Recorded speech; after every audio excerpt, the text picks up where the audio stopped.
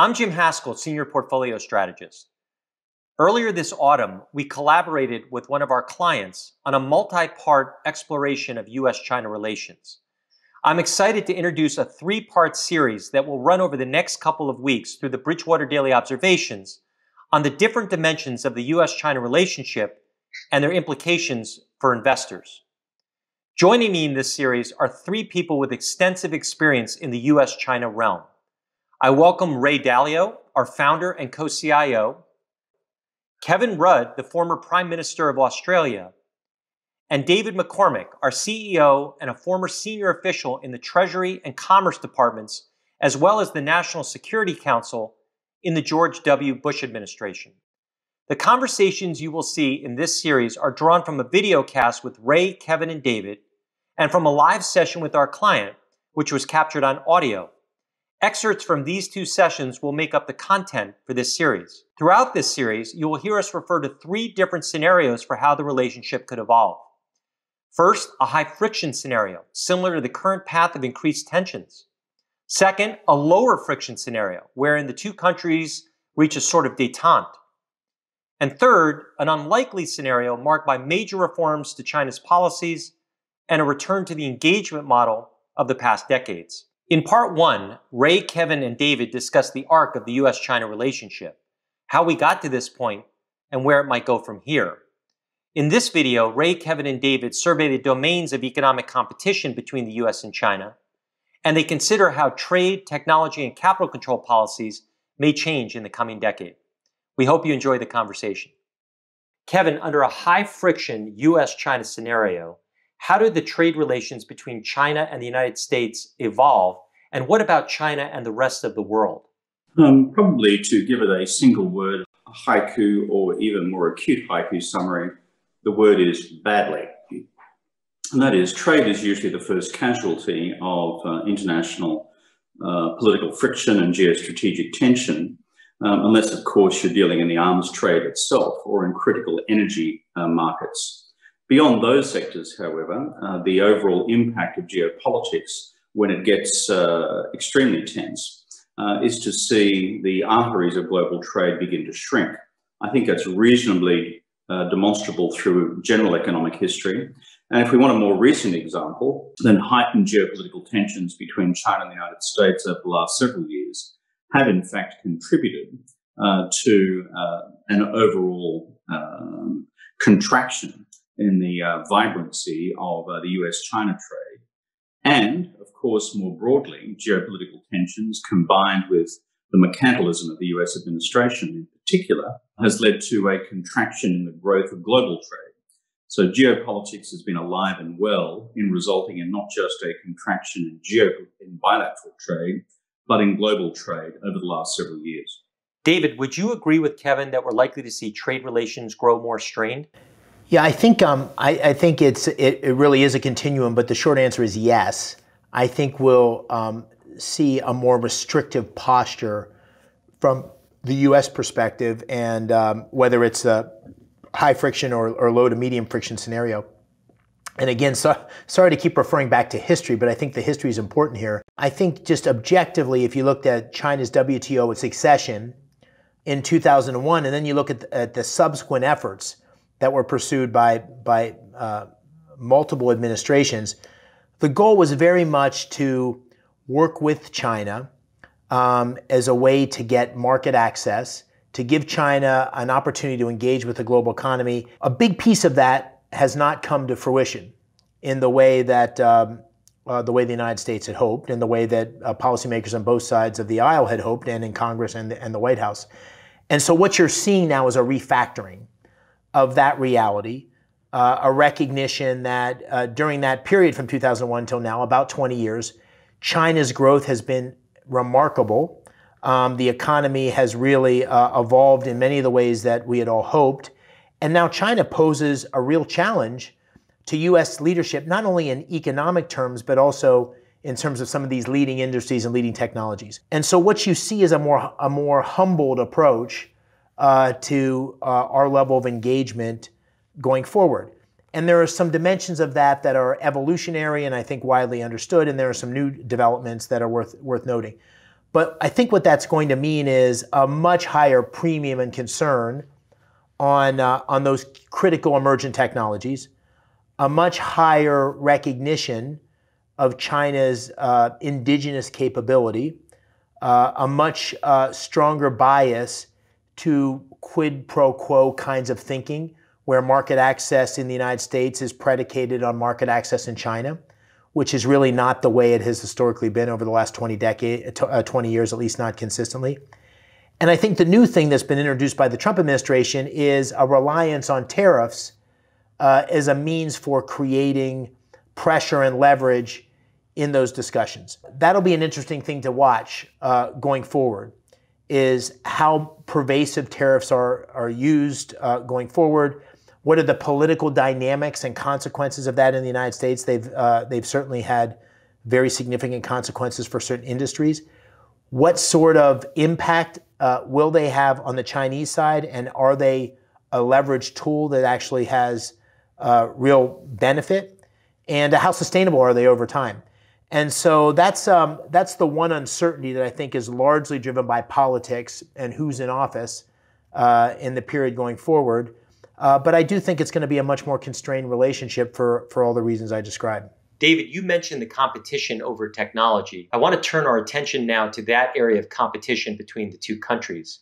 If we put ourselves in the year 2030 and we look back over the past decade in a high friction scenario, how does the technological competition actually evolve? You know, there's been an evolution. When I was uh, in the government in 2005, 2006, the primary conversation as it related to Chinese technology was around its dependence, China's dependence on the United States, and intellectual property protection of US firms, export controls um, to protect against China um, taking uh, US technology through supplier relationships and so forth. Um, those are still concerns, but the whole focus within China and, and risk have changed because I think it's in, indisputable that in the last decade or more, China has developed a much more indigenous capability in, in terms of technology development. And because of uh, some of the dynamics of uh, R&D and government investment and so forth, and the scale and size of the economy, have made real breakthroughs that have been independent and autonomous of the United States or anybody else in terms of technology adoption, technology breakthroughs, and, um, and technology leadership. And so we're in a different world where China is no longer dependent on others as much as it was from a technology perspective. And the ambition that President Xi has laid out and the CCP has laid out in its 2025 plan and in, in other parts of, uh, of its agenda is doubling down on that technology leadership. That has huge implications for the relationship because those technologies have, as I said, some winner take all dynamics. So if you're the United States, you don't want uh, those technologies uh, controlled by China. If you're in China uh, and Chinese leadership, you don't want those technologies controlled uh, by the United States. And, um, and it's very much uh, an open question of which model, the United States model or the China, China's model, will prevail uh, in this race for leadership in emerging technologies. To continue down this path, Kevin, do you expect both countries to have fully decoupled from a technology perspective by the year 2030? And how do you believe the technological competition will play out across the global south in the emerging world? I believe, on the balance of probabilities, given China's national strategy of national self reliance in critical technology areas, um, wherever that is technologically achievable, that that would have occurred. Where it is not technologically achievable, for example, the continuing gap in China's ability to develop uh, the most advanced semiconductors uh, in the world, uh, then of course the Chinese will carve out exceptions. But the inference that it is only America's decision to decouple technologically is a flawed assumption. China is of itself, uh, right now, making a series of internal decisions about not leaving itself vulnerable to global technology markets and systems. And in fact, the semiconductor example is often used in the Chinese domestic debate more broadly across technology and across finance about the undesirability of China remaining vulnerable to these ultimate instruments of American economic power. So the answer to your question is yes, um, but driven as much by Chinese strategy as by American strategy. And the caveat and the carve out being except those areas where China cannot technologically achieve it. David, so far, capital markets have been largely exempt from the ongoing economic competition. We have not seen extensive restrictions on investments out of the US or on capital market access in the US. Do you think that would change over the next 10 years? The thing that's evolving, and it's very difficult from the US side, uh, from where I sit on the US side, to know whether this is sort of near term election politics or what I'm about to describe marks a fundamental shift in how the United States thinks about such things.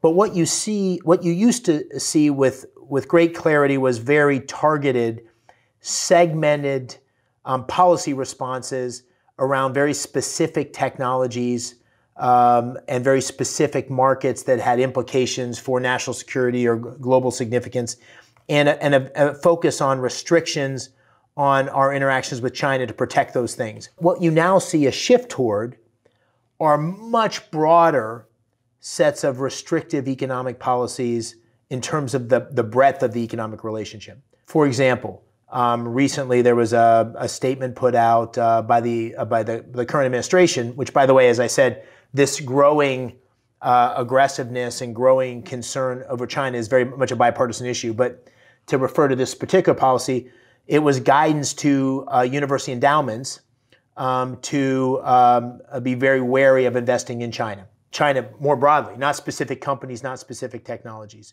Um, you see that in the uh, in the debate over the uh, federal pension plan. Um, you see this in a much broader discussion around uh, foreign investment in the United States from China, where it used to be very targeted around specific transactions through the CFIUS process that would get extra scrutiny because of the national security implications. Now there's a much broader discussion around simply letting China invest in the United States.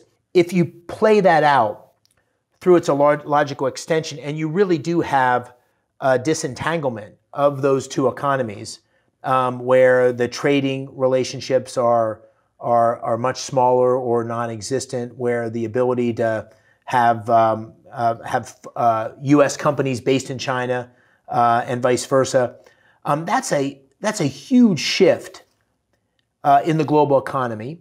It's a huge shift in how U.S. businesses and Chinese businesses have viewed one another in terms of opportunity. It's a huge shift in terms of supply chain and capital flows.